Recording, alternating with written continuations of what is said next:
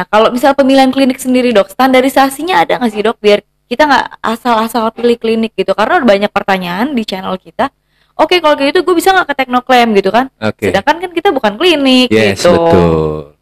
Jadi eh, kalau saya boleh informasikan ya bahwa eh, kapan dan klinik mana yang harus kita boleh pilih untuk menyuatkan eh, anak-anak ayah dan bunda.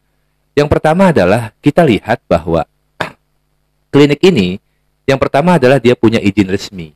Hmm. Ya, izin resmi yang memang dikeluarkan oleh eh, perizinan kota setempat atau Oh, kabupaten setempat. Itu oke. pertama. Yang kedua, degree tersebut dikerjakan oleh seorang dokter. Ya, seorang dokter yang memang secara kompetensinya dia untuk di bidang sirkumsisi, ya. Dan ini biasanya eh, tersertifikasi, ya, khususnya memang beliau eh, pernah belajar workshop, ya, belajar eh, untuk seminar eh, sirkumsisi Ada dan lain-lainnya. tuh dok?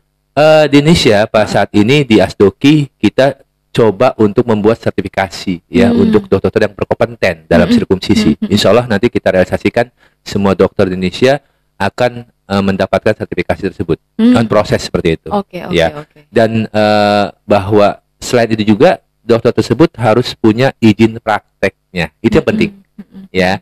Sehebat-hebatnya dokter kalau dia tidak punya izin praktek itu sama aja ilegal. Iyalah orang Yes. mau naik mobil juga harus punya ada SIM. SIM Nah, itu salah satunya tadi.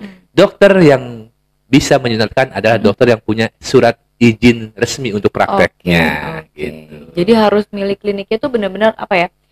eh, ayah bunda di rumah gitu harus jeli juga. Yes, gitu betul. Jadi jangan asal-asal, oh dekat rumah gua ada klinik nih kita Yes. ke situ aja. Ah, ah. Dokter umumnya bisa kali gitu ya. betul.